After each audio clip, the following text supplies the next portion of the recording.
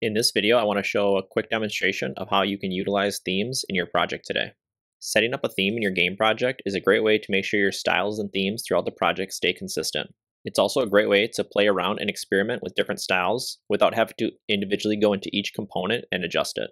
So the first thing we need to do is I'm going to go into a themes folder that I already created. I'm going to right click on it and I'm going to create a new resource. From this, we can search for theme and then double click on it. I'm just going to call mine default. You can call yours whatever you'd like. We're going to save that. The next thing we need to do is go into our project, project settings, and set our default theme. So if we just search theme in here and click on theme, if you had a font that you want to use project wide, you would just set it here. I'm going to show you how you can set up the font in the theme itself.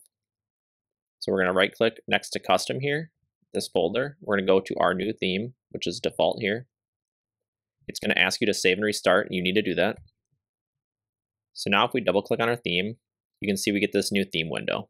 Before we get going in our theme, let's set up a canvas layer so we can demo this. So first I'm going to select other node and I'm just going to do a canvas layer.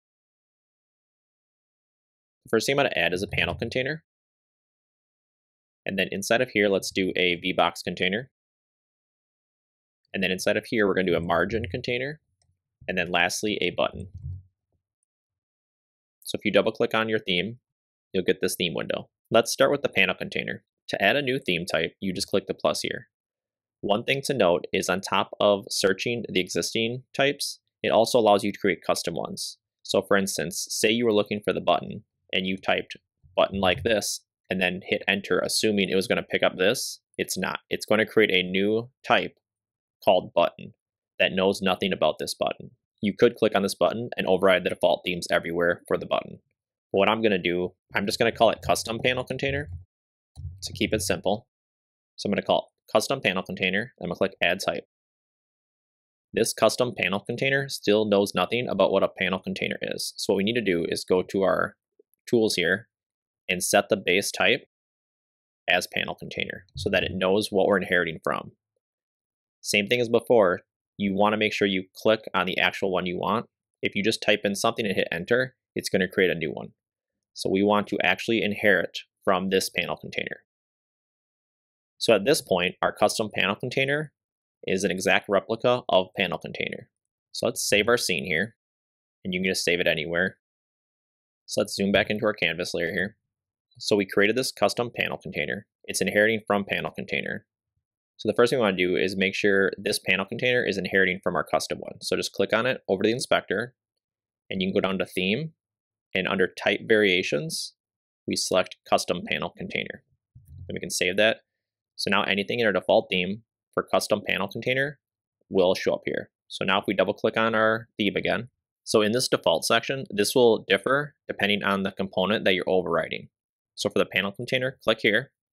And then to override the default panel container, we need to click the add button and we'll do a new style box flat. And then if you click on it, it'll open up in the inspector here. And now we can override it. So if you click on the color here, and you can see as we change this, it's changing our new panel container. So let's just find any color here. We'll just do a nice dark gray. We'll make it a little transparent. And let's give it a border radius. We'll do 24 pixels all the way around. And you can play around in here depending on the type that you're inheriting from. There's lots of different things that you can adjust. So let's save that. Let's go back to our panel container and let's make this the full rect. So now it's taking up the entire space of the viewport. So now you can see our border radius. Next, let's do the margin container. So if we come back into our theme here, we're going to add a new type. Let's do custom margin container. Then we're to click add type, and we're going to come to the tool here, click the plus, and we're going to inherit from margin container. So you'll notice in this one, we get a couple more options that we didn't get in panel container. As you can imagine, we can set the margin. So let's override the default margin. So we got to click plus on all these. For our custom margin container type, we can set what we want the margin to be for this type. So we're just going to set it to 24 all the way around. Now again, since we didn't override margin container, we created our own. We have to tell this margin container that we wanted to inherit from that. So we go back to theme, the theme type, custom margin container. Let's demo this button. So let's come into here.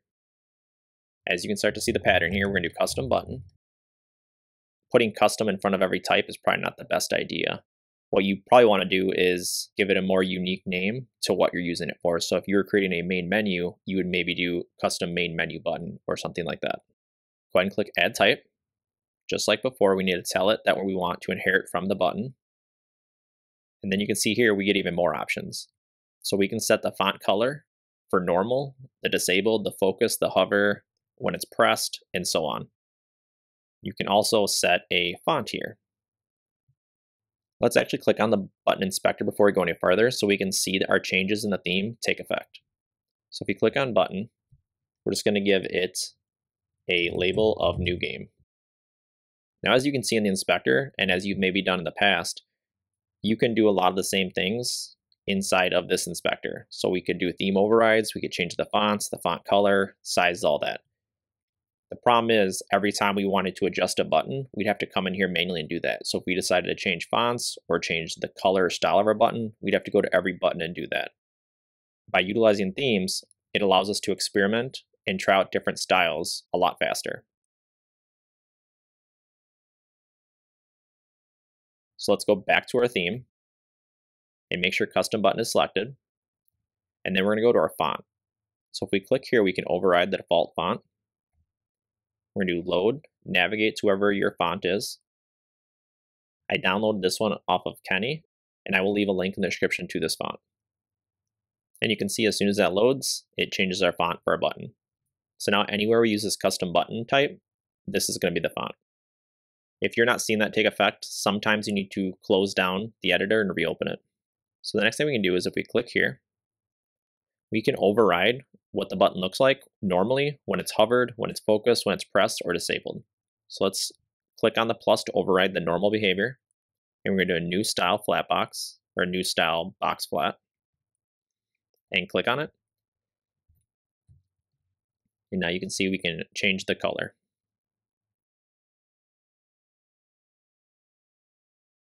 What we can also do is set the corner radius to give it rounded corners.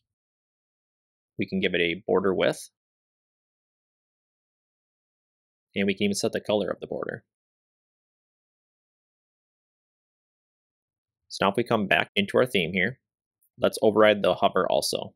So if we click on hover, we'll do new style box flat again, and then click on to open up the inspector. Actually, let's come here. We're going to come back in the normal. I'm going to copy this color and then let's, we're to paste that in. And then I'm to give it a little opacity when it's hovered. And then the same thing, since we override the default, it's not going to inherit anything anymore. So when we went back to, so if we go back to normal, you can see we gave it borders and we gave it corner radius. This hover will not have it. So when you hover, you'll lose all that. So you need to set that up again to whatever you want. Or if you don't want it, then you don't need to.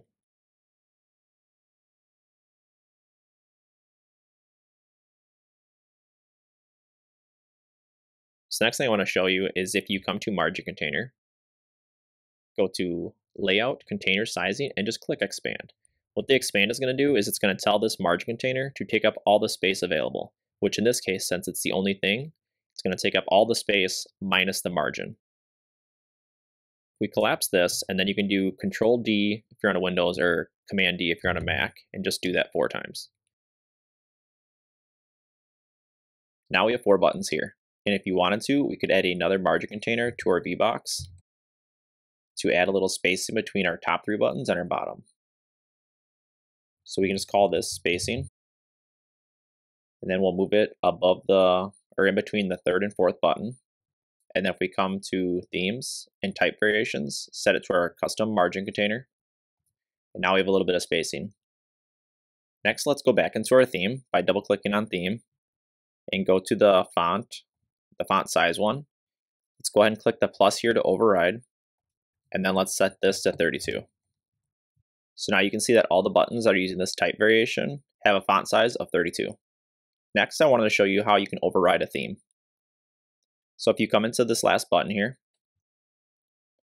and you'll see the section called Theme Overrides. In this section, you can do a lot of what you can do inside the themes. This is great for when using a custom theme on a component and it covers 90% of what you need, Instead of creating a whole new theme type, you can just come in here and modify the little bit that you need. So for this last button, let's override the hover by clicking on the empty here and do new style box flat, and then go ahead and click on it. And on hover, let's just change it to a red color. And since we overrode the hover, we also have to reset the radius and border width.